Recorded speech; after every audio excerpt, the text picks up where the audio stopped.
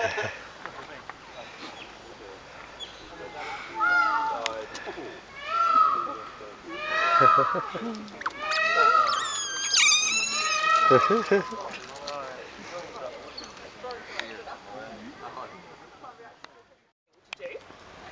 when they do have a litter, everybody else is involved in looking after them. It's not just Mum's job, so everybody joins in.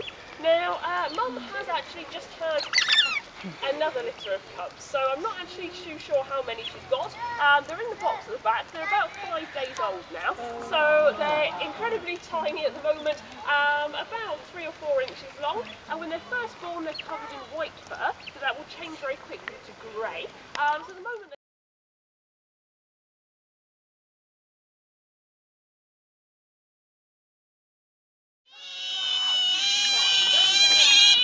all got their own individual little voices.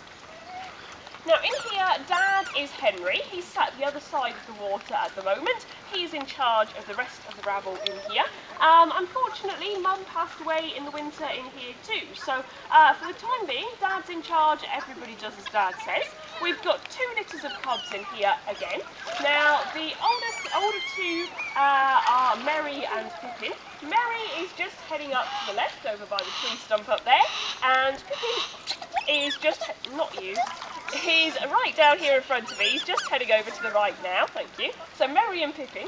The other three, one of them just coming out of the water, uh, they are Jasmine, Bubble, and Squeak, and they are about 18 months old now. So still, still quite young.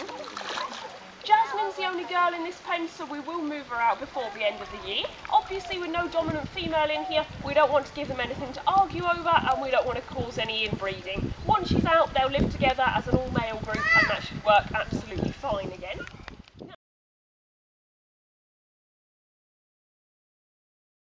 Cub. River is two and a half years old, always full of energy and enthusiasm, and gets to put a bit of hard work into his food.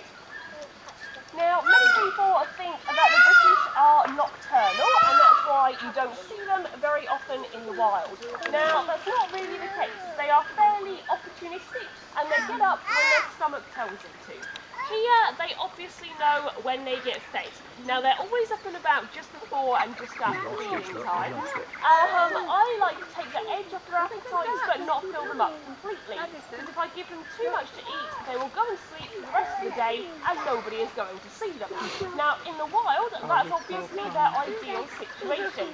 They would like to find as big a meal as they possibly can. Whether it's a very large fish, a duck, or a goose, they will eat as much of it as they can and then go and sleep for a couple of days and save up on some energy. Now, if they're in an area where there's lots of small items of prey, frogs, small fish, voles, anything along those lines, you're likely to stand a better chance of seeing them. Uh, you stand a better chance of seeing them because they're going to be up and about a lot more frequently to go and find their food. So food is a big depending factor as to how often you are going to see them in the wild. Now, I often get asked happens if we ever have too many British otters here. It's not normally the case. At the moment, uh, we do have quite a few, but they're either about 10 years old or older, or 3 years old or younger. So it's quite nice for us, we've got some young ones to keep things going. Here, we like enough to keep our population going, um, but we don't want an excess of them. We do swap with other parks and zoos.